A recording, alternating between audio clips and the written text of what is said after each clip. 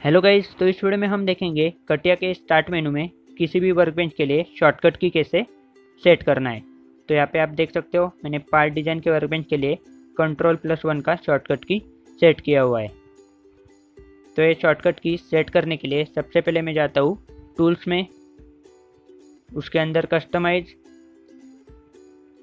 इसमें start menu जहाँ पे आप देख सकते हो अवेलेबल और फेवरेट ऐसे दो बॉक्स हमें दिख रहे हैं।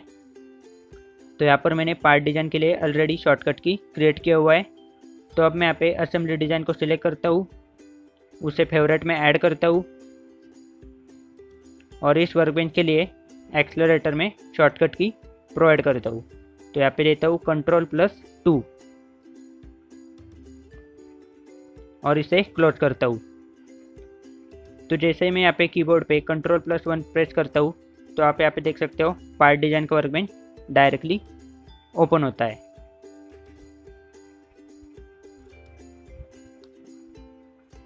तो हमने यहाँ पे असेंबली डिज़ाइन के लिए कंट्रोल प्लस टू का शॉर्टकट की क्रिएट किया हुआ है। तो यहाँ पे मैं कंट्रोल प्लस टू प्रेस करता हूँ और आप देख सकते हो यह असेंबली डिज़ाइन का वर्क बेंच तो इस तरह से हम किसी भी वर्कबेंच के लिए शॉर्टकट की क्रिएट कर सकते हैं। तो यहाँ पर मैं स्केचर के लिए शॉर्टकट की क्रिएट करता हूँ।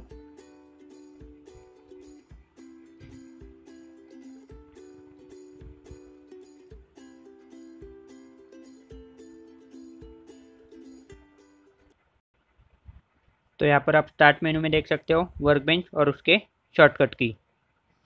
तो इस वीडियो में इतना ही। वीडियो देखने के लिए थैंक यू